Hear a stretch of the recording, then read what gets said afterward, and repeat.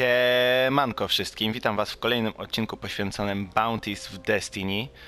Teraz zajmiemy się Bounty pod tytułem, znaczy pod tytułem mamy target, tak Banuk Ur Prince. Jest to mm, jedna z misji ze story, ale zwykle te misje troszeczkę y, przerażają, tak, bo to jest... Y, e, żebym teraz się nie pomylił. O, no właśnie. E, bo tak, dobrze, dobrze pamiętam. To jest misja Sword of Krota i zwykle no te bounty na misję kojarzą nam się z tym, no, że będziemy musieli całą misję przechodzić na heroiku. No wiadomo, że teraz to jest 11 poziom, więc nie będę się za bardzo męczył.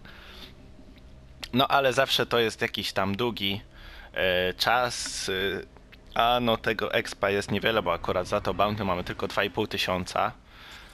Ale, dobra, niech on tu sobie pogada.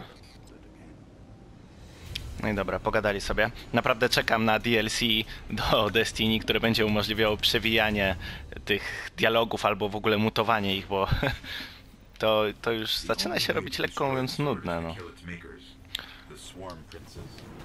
Ten ghost tutaj sobie pogada. No dobra.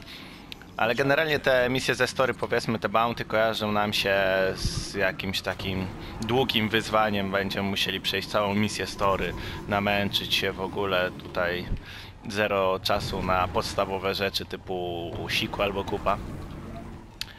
Ale na szczęście nie wszystkie misje są takie długie. Tutaj musimy zabić Banuka i e, pamiętajcie, że w tej misji Banuk to jest ten pierwszy e, książę, którego znajdujecie tutaj zaraz po prawej stronie, zaraz dolecę na miejsce. On sobie wyskoczy i, i szybko to sobie zaliczamy. No i tej misji nie musimy już kończyć, tak? Bo jak za, sobie klepniemy bounty, no to możemy sobie lecieć na orbitę. Dobra, ja doleciałem do tego miejsca, do takiego wąwozu.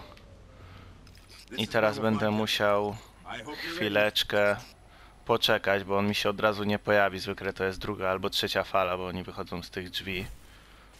No to był bardzo dobry granat. O, jeszcze mam dobrą broń. Bo jak robię precision kille, to oni wybuchają, więc jak wy... wylatuje garstka takich low-levelowych mobów, to oni giną wszyscy. No i wybiegł mi Prince. Słynny Banuk. No i proszę bardzo. 5 sekund, klepnąłem Banuka.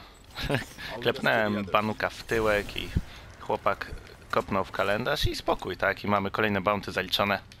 Szybko, łatwo i przyjemnie. To brzmi prawie jak reklama jakiegoś dobrego, kuchennego produktu Stevie Mango.